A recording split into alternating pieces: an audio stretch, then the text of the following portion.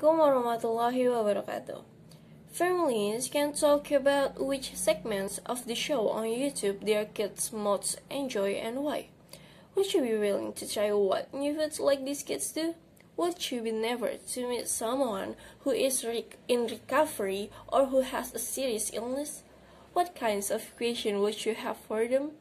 Families can talk about the case of HiHo Kids. What qualities does each kid bring to the channel?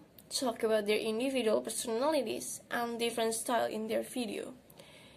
HiHo Kids gets 3.95 million subscribers. HiHo Kids is home to the highly popular Kids Try video series, which shows kiddos of various ages trying food from other countries or food with a certain theme.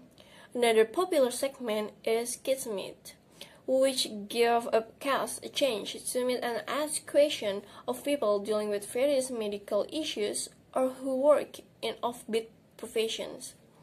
Some of videos are pure silliness, like the ones where kids try unusual candies or describe imaginary animals to a professional illustrator who draw them on the spot. But higher touch on more serious issues like drug addiction and discrimination, always in a tactful and, and educational manner.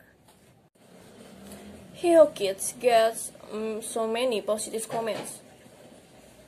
You can see.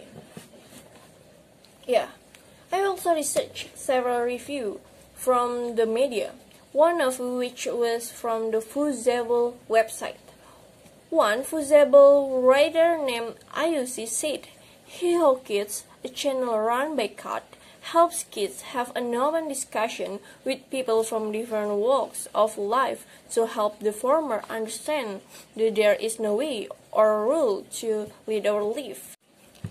Parents need to know that HiHo Kids is a YouTube channel that features a diverse cast of boys and girls who learn new things. Clever videos show them trying unusual food, meeting people with unique occupation or life stories, and playing with toys and games from all around the world. While much of channel is lecturing and playful, some potentially tricky topics like addiction and death are discussed openly and honestly.